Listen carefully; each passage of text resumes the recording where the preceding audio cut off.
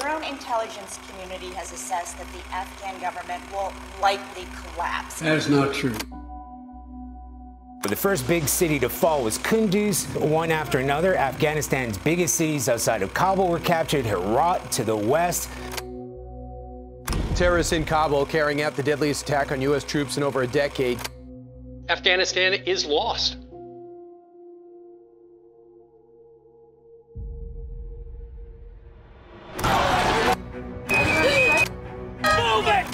Freedom came under attack.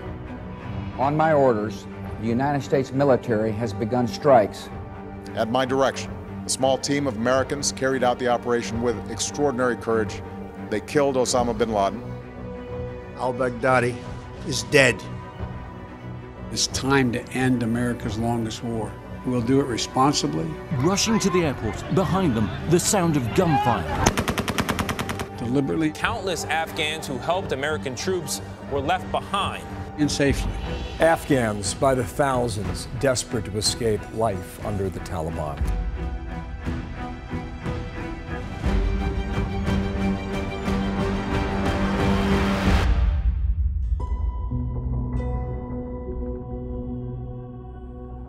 I'm sitting down to talk with Senator James Lankford of Oklahoma.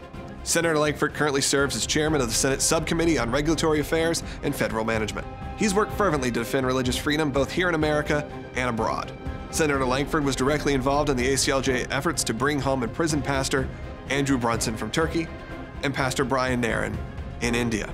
Senator Lankford will be joining us today to talk about his plans to bring Afghan refugees escaping the Taliban to Oklahoma. It's September 13th, 2021, and we are joined by Senator Lankford from Oklahoma. And Senator, I wanted to uh, get your feedback over the last few weeks. Obviously, we were coming off of a weekend where uh, we, we uh, memorialized the last 20 years since September 11th, uh, a time when, for those of us that lived through it, you know, it is kind of those moments where you realize that a lot of us, a lot of people, even in this crew here, uh, were two and three years old when some of this stuff was happening. But for those of us that lived through it, we saw a very uniting moment for America. Uh, nine months into a Bush presidency, you now go 20 years in the future, nine months into a Biden presidency. Uh, tragedy happens related to that, and it's really unfortunate to wait to see where the country has gone the last 20 years in forms of, of uniting over certain things. But maybe, and you can kind of touch on this, do you feel that there was maybe uniting not necessarily for the administration, but in uh, seeing sort of the horrors that were coming out of Afghanistan? There were. And I would tell you, uh, talking to so many veterans of the war in Afghanistan over the last couple of really weeks now, uh, I hear two things that come up over and over and over again. Number one is they're shocked by how people, how, how what they see of what we left in Afghanistan, uh, how painful it is to be able to see what was left on the table there, how they abandoned Bagram Air Force Base, how they abandoned the embassy, uh, all those things. There's just a lot of frustration on and uh, what they actually saw there. And they know we were going to get out of Afghanistan. No one assumed we were going to be in Afghanistan forever, but the way that we got out is very, very, very painful. And the second thing I hear from people over and over again is there were a couple of people that were fighting alongside of me that were Afghans. Uh, that they put their lives on the line just like I did, except they weren't armed. They were a translator and they were traveling with me. We always told them that if this goes sideways and the Taliban take over, we're going to get you out safely. And uh, they were pretty frustrated by that. So they're frustrated about how it ended. They're frustrated with what we spoke to the rest of the world and to some of those translators that work with us and side by side with our military forces uh, and what they've continued to be able to see from there to see us literally as a country abandon Americans in Afghanistan and abandon individuals that fought alongside of us. Yeah, absolutely. And you, you touched on something I think that's important. And uh, the Afghan people, whether it be the translators or, or people that fought alongside Americans, uh, were kind of metaphorically thrown under the bus from the Biden administration as you know, people who who you know, abandoned ship, ran away quickly. Uh, that's the opposite of what I've received in these interviews that I've conducted over the last few weeks. Uh, it seems like very compassionate people, very sweet people. And we as Americans are compassionate people. I think conservatives often get labeled uh, in a way that I don't really appreciate because we can all look to that those scenes that happened a month ago and uh, see the horrors that they were and say, how can we help? What can we do? I know you were one of the people who uh, discussed taking in refugees in Oklahoma. Uh, a somewhat controversial thing, uh, but not really. You know, I think for you know, it becomes a very uh, loud minority online that people think represents conservatives or Republicans and think these are not compassionate people who don't want to help. I want to know, though, what was your decision making to come to that conclusion? Because look, in some of the states uh, and some other people in, in your own party uh, have, have taken an opposite approach. So I would say that the first thing that came to my mind was that all these different uh, veterans of the war in Afghanistan, they came to me and said, These are folks that I know. They fought alongside of me. I know them, I know their families. Uh, these are folks that laid their life on the line. These are freedom loving people. These are the folks that are fighting against the Taliban. These aren't terrorists. Right. These are the exact type of people that we want to advance and that we want to be able to support. And so, the, how I came to that decision was talking to so many veterans of the war in Afghanistan and what they were saying about those individuals and how they want them to be able to get out. So that's the first part. The second part is in Oklahoma, we took in a lot of uh, Vietnamese 48 years ago when they were fleeing during that time period. Those are thriving members of our community at this point. Very engaged. We have lots of Vietnamese churches in Oklahoma. We have lots of communities that are engaged and business people and all kinds of folks. We did this as a state five decades ago with the Vietnamese. Uh, we will do this again with Afghans that are coming into our country. And in Oklahoma, we'll probably have about 1,800 to 2,000 Afghans uh, that will move into Oklahoma. Those should be vetted individuals. Those should be folks that have worked alongside of our military worked alongside of our State Department. I don't want to just randomly grab uh, people in Afghanistan to be able to move into Oklahoma. They need to be fully vetted. They need to go through the process. But most of these folks that uh, that are moving this direction are exactly that. For those that are not fully vetted, they don't need to come to the United States at all until we know who they are and what their background is and how they were trying to be able to flee out of Afghanistan. That says a lot about you, though. It says a lot about the state of Oklahoma that you guys would support uh, this kind of move in general. I think that uh, it's the Christian thing to do. As someone who I know is uh, a person of faith, that it's important to to disconnect maybe you know partisan politics and actually look at the heart of it because I, I, know about you and, and, other people, you couldn't watch the children being passed over the gates. You couldn't watch those things happening in military having to take them, uh, even before there was the, the ISIS attack, and not say, how can I help? And I think a lot of people uh, could turn to the, the administration, to the presidential administration, and say, how can I help? And feel like they have no answers. But there are people like you uh, Senator Lankford in the Senate, there's people in Congress who are saying, okay, the administration may be failing us right now, but you have a voice and you represent a people. And I think that's that's got to be an important step for, for anyone right now to really look to their local representation. Yeah, th- this should be a moment that nonprofits and churches should step up and say, what can we do to be able to walk alongside these families? Because it's one thing to say these folks are coming in destitute, afraid, escaping from the ruthless Taliban. We got them out of that environment. It's another thing for the churches and nonprofits to be able to, and other entities to wrap around them and to say, what are we going to do to help you integrate into society and to be able to make sure that you have connection points here? And again, again, many of these refugees are not coming to America; they're coming to other countries as well.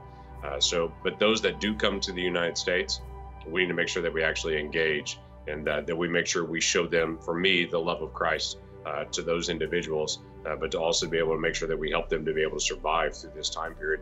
A pretty amazing transition for them as a not just as a country, but as a family and as an individual. Absolutely. And you look back now; it's been roughly a month when we're recording this. I wanted people to see the raw emotions that were coming out of people, and remember that this in a year, in two years, in three years, in ten years, uh, because it's so easy to look at 9/11 and sort of this historical viewpoint now, uh, pre-social media, pre uh, the way that we kind of have to run our lives now. And I want to make sure that these kind of interviews were, were preserved. So regardless of what happens years from now, that people know the intention that was coming out of people like you and were coming out of uh, beyond Washington. But I do want to take you back just about a month ago. A lot of people say this was inevitable, that this uh, crisis was going to happen, that the exit was going to be bad in general.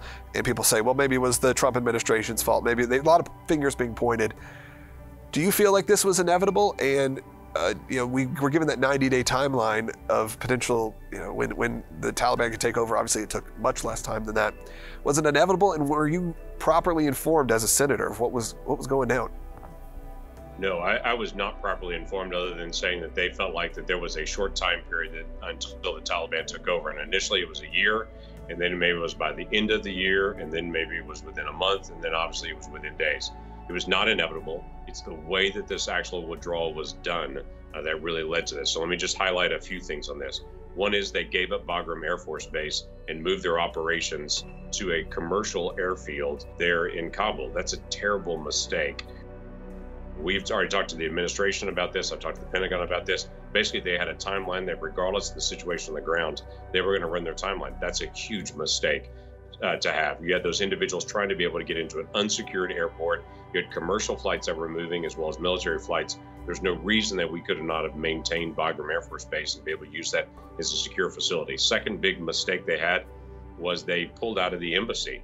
The embassy was the place where Afghan nationals would go to be able to get paperwork processed ask questions to be able to go through all that. Once they pulled those individuals out of the embassy, we've literally got people crowding the streets around the airport, waving papers saying, I don't know who to talk to anymore. I don't know where to go anymore to be able to help process this. So they literally created that chaos. The third thing they did that was the most significant part at the beginning of this is the uh, Biden administration did not hold the Taliban to account. During the Trump administration, if the Taliban moved into areas that they had been pushed out of before, if they moved back in those areas, they faced military consequences to it. The Biden administration, when the Taliban moved, they just ignored it and let the Taliban move. They should have never done that. 2,500 American soldiers were able to keep 100,000 Taliban at bay because the Taliban, if they moved an inch, had consequences for it. When that didn't happen anymore, the Taliban just started running and things started collapsing. When Bagram Air Force Base was closed down, there wasn't the close air support that was needed even for the Afghans uh, to be able to support them. And so it just started this whole spiral effect of one bad decision after another in the pullout.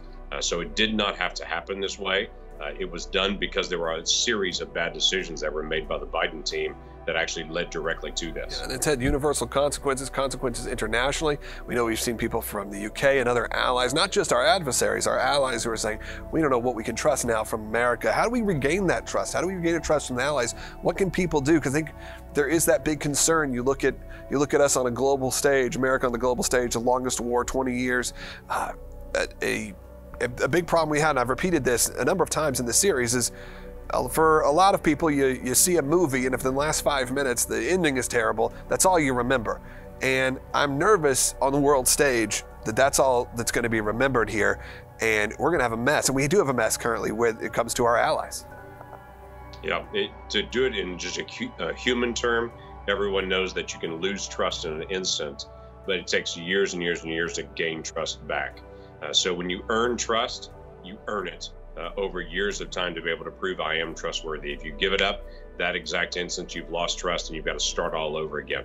So, in many ways, the United States of America now on the international stage has to regain trust again and has to be able to prove that they're worthy of that trust around the around the world. And I'm not talking about militarily engaging all over the world again, but we've lost trust based on the fact that the entire world can look at the way Biden handled this withdrawal and what he did and how he did it and can say America can't be trusted anymore, that's a major problem for us in the world stage. If, folks are living in Taiwan, folks are living in Ukraine, folks are living in multiple different regions around the world where they're looking to the United States saying, in that moment, will you be there? Right now, I would assume they're all a little nervous at this point. And the talking point seems to be, and it comes from the Biden administration, is to divert, divert it to, well, this was costing us $300 million a day. Look at the financial savings that we're going to have. Uh, something that seems to be playing to conservatives. But as I said, I think what they're not taking account for is obviously all of the, the issues that came out of it, but that conservatives uh, mean a lot more than just money. And it's not just about we're saving money here. Look, shouldn't you be happy with this? We had to end this war. It was costing us so much money. Sure, that is a factor. And, and, and people like you and um, most people even on our team here were for the, yeah, everyone eventually getting out of Afghanistan. But that seems so misguided to be like, that's where we're going to point the blame. We're going to point the blame to, well, we had to, it was costing us too much money. When people see bloodshed uh, from our own American uh, troops and hundreds of, of Afghan people now. Yeah, it, it is. It is absurd for the left to think I'm going to tell progressives this was cheaper, and so ignore all those lives that are lost, ignore all those women that are now being put back in burqas and that can't get education anymore. Ignore the Taliban running over everybody. Ignore them uh, taking our equipment. If they were so concerned about fiscal responsibility, they wouldn't have left billions of dollars of American equipment sitting on the tarmac uh, at Bagram Air Force Base. If they're really concerned about the fiscal issues, we would have recovered all of that equipment and be able to pull it out rather than abandoning it and actually leaving it there or giving it to the Taliban uh, for them to be able to have. So it was very, very clear they were not concerned about the fiscal issues here at this point. They were just concerned about how, how fast can we get out, regardless of the consequences. Yeah, and you keep saying the Taliban. We've talked obviously about the Taliban continually in this series, what it's about. And I've asked this question to quite a few people, but I want to get your thoughts too. Is it as insane to you to hear the words the Taliban now being used as essentially political partners with us? Where uh, it just, I can't fathom it when every time it comes out of the mouth of somebody representing the White House uh, or, or anyone in general, treating the Taliban, the name even, with respect, it's maddening and it's, it feels. Uh, for the American people, for those of us who were, I mean, I was 15 at 9 11, not that old, but I, certainly old enough. Uh, the last 20 years, the Taliban is not a name that we set out to uh, give any respect to. And they didn't exactly take over in a way that uh, honors that respect. Yeah, the, the, the, Taliban are a ruthless political organization that runs the, the country uh, under their iron thumb of them just squashing any dissent. Uh, the Taliban moved into these different communities. When people said, How did they move so fast? They would move into an area, they would pull out everyone who'd worked with the Americans, slaughter them in the public square, and say, Is anyone else interested in opposing us? And then they'd move town to town to town to do it. Uh, this is not a reputable political organization that we should be negotiating with. And it is chilling to me every time I hear President Biden or Secretary Blinken uh, talk about how we're going to work with the Taliban to get the remaining Americans out that basically sounds like a hostage situation to me, where you've got a ruthless organization that we're going to pay them money to be able to get American citizens back out. Now, when they talk about Taliban checkpoints and how many checkpoints they're going through, they have to pay people at each one of those checkpoints uh, to be able to hand money to these different Taliban ruthless thugs uh, that we're actually buying people's way out of it here. All because they failed in the process to actually evacuate Americans out of there to be able to leave an opportunity uh, for the Afghans to be able to fight on their own or to not have a chaotic withdrawal like what we really saw. What we saw was a lot of broken promises as well. We saw a lot of people left. Uh, you know, they're still trying to get people out, work with the Taliban, as you said.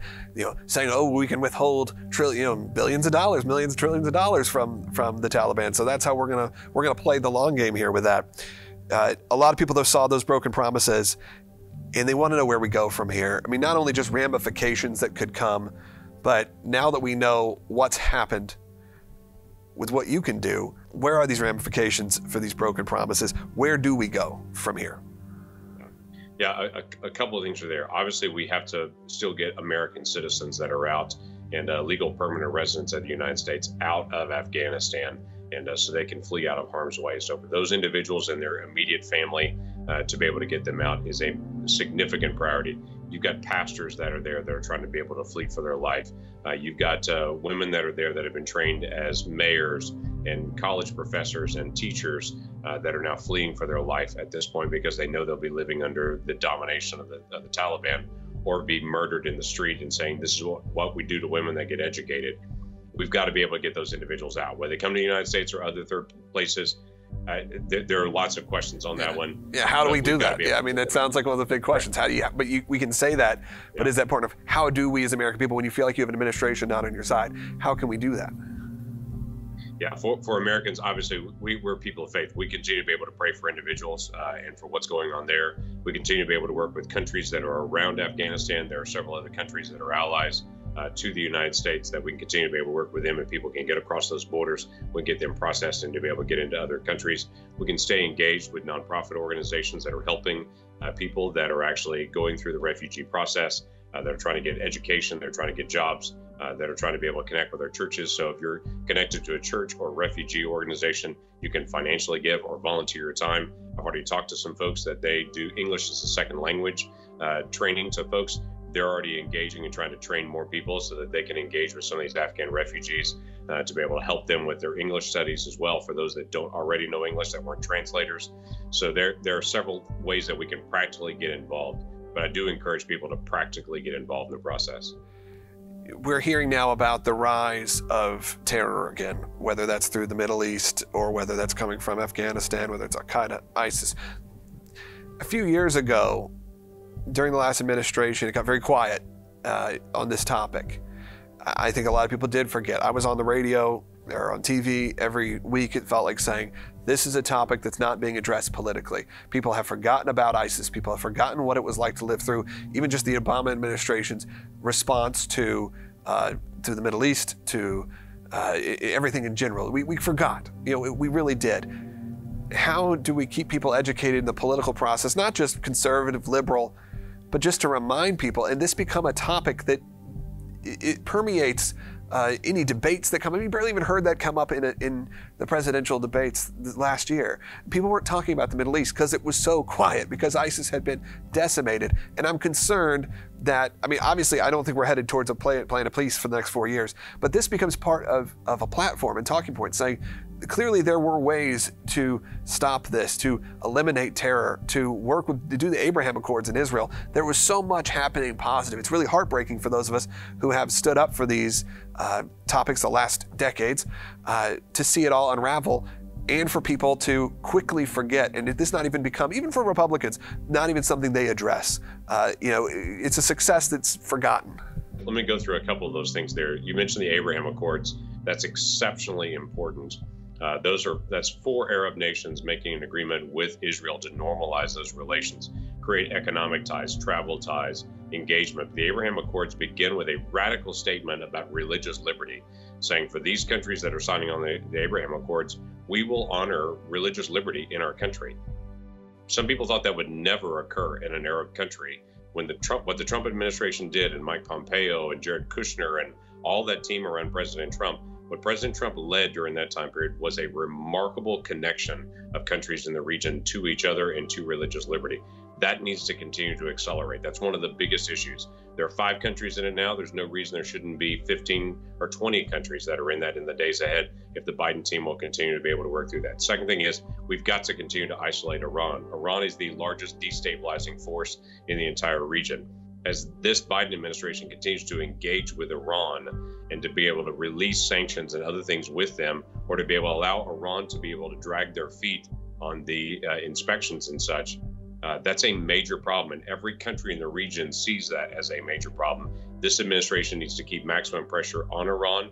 And know that's the way that you stabilize the Middle East is develop relationships with other countries, continue to isolate Iran, the Iranian people live under a terrible regime uh, that's there. And so this is not an issue with the Iranian people. This is an issue of the regime in Iran. And the third thing that you have to do is you have to continue to be able to elevate this among the American people so we do not forget. September 11th will still continue to come every single year. We can't, after 20 years, just stop and forget because there are people in the Middle East right now in these groups like ISIS, uh, Al Shabaab in Africa, and uh, you've got um, uh, Al Qaeda is still on the rise. You've got Al Qaeda in the Arabian Peninsula in Yemen. You've got all these different groups that they intensely hate our freedom. They hate it. That's why the Taliban can go in immediately and say, we don't want women to be educated. We want them covered up in burqas. Uh, we don't want a free press. It, it's not they just want to dominate that region. They philosophically don't believe in women having equal rights. They don't believe in a free press. Uh, they don't believe in elections. They're even opposed to the basics of elections. So they, we, we understand we are the epitome worldwide of everything that they hate uh, because we believe in those freedoms. They hate those freedoms. And so they're coming after us. And while we think, why would anyone hate us? We want to be able to have open opportunity for everybody. Well, they do not want to have open opportunity for everybody. They want to stop that worldwide. And we are the great Satan to them that actually is portraying freedom to people. And so we can't lose track of that in the days ahead, that there are people that hate us because of our freedom and want to do anything they can to be able to destroy us. We look back at 9 11 now, 20 years out, and I posted on social media and I felt this way. It became uh, much more emotional this year. Obviously, it's been 20 years, but with recent events, uh, it all hit everybody, I think, a little different than it has uh, even the last 10 years to see uh, it ended such chaos because it's sort of the catalyst, the beginning and the end of the story, if you will, in some ways. Uh, but as you said, not only can we not forget how we felt then, uh, we have to remember, even if we don't want to, we have to remember. Because it is easy to not not easy it is more comforting to, to turn off the coverage i mean there were times on september 11th just this past weekend we're recording this where i was like enough. I've seen so much of this all day. I, it's physically and emotionally draining but it's important to not only not forget, but to make ourselves remember and to always remember what happened and how we feel that way, even if we don't want to. And that's how I wrap up all of these. I wanted to get your thoughts too, is we do kind of now focus on the ending of, of what you would say is the war on terror now that we're out of Afghanistan. Now, who knows what that means? I think that the war on terror likely continues. But over those 20 years, We need to make sure that we remember there was a lot of people who sacrificed their lives, who were there, who were doing the right thing, and there was good that came out of this, even if the ending feels like such a mess. I wanted to give you an opportunity to talk to those people, to those families, the Gold Star families, to people who, who lost their lives, or people lost their limbs, or even mentally, or people who just served throughout the whole experience and say, people did not die in vain in this war.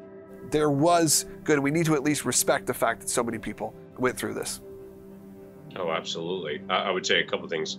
Obviously, we have several thousand Gold Star families that never wanted to be Gold Star families.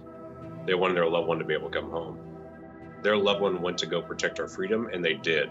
For 20 years, 20 years, we've had no major terrorist attack in the United States. That's not some accident. That's the engagement of these individuals that volunteered their life and their time to be able to go over and to be able to fight against those folks that were coming against us and our freedoms. So we owe the utmost respect to those Gold Star families and continued support for them because they continue to live with the consequences day after day after day. Those that have lost limbs, those that have all kinds of different battle scars on it, they went and it did exactly what their nation asked them to do stand up for our freedom, to continue to be able to do it in an honorable way, and they did, and to be able to set a tone for people there. So not only did they protect the country for two decades from any major terrorist attacks, they also gave the Afghan people and the people in that region a taste of freedom, something they hadn't tasted before. Well, that we all know as Americans that's a very good taste. You don't forget that taste of freedom and what they've actually experienced. That, that generation has now been educated and what that will mean. So I, I, think a lot of people look at it and say, look at the departure. We were, the Taliban was there. We came in for 20 years and the Taliban came right back. Nothing changed. I don't agree. There's a lot that's still going on under the surface that's happening right now. Let's let history play this out and to see where this go. If the Afghan people re-engage in a whole different way uh, in the days ahead and be able to flip and turn the Taliban out still, they've got to be able to run their country. That's true. But we have given an opportunity to them to be able to succeed, and not just for them, but for multiple others that are in the region as well. So there's a lot that's still going on in that region that we'll continue to be able to pay attention to in the days ahead. So I, I can't say thank you enough to those folks that served and there are folks that served in all kinds of ways, both in our intelligence agencies, our military, our law enforcement here in the United States, and multiple other entities that are contractors and diplomats and others that have literally put their lives on the line uh, for America and for Americans for two decades. And we are very grateful. Senator Lankford, thank you so much for joining us and uh, spending a little bit of time with us today. Glad to be able to do it.